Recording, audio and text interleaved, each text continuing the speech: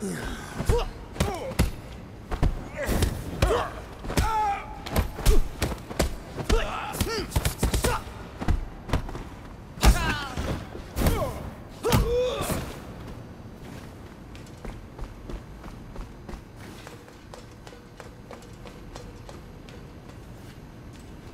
you doing in here, pal?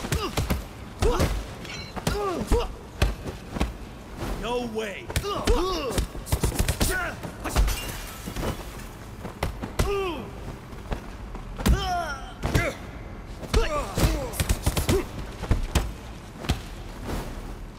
Whoa.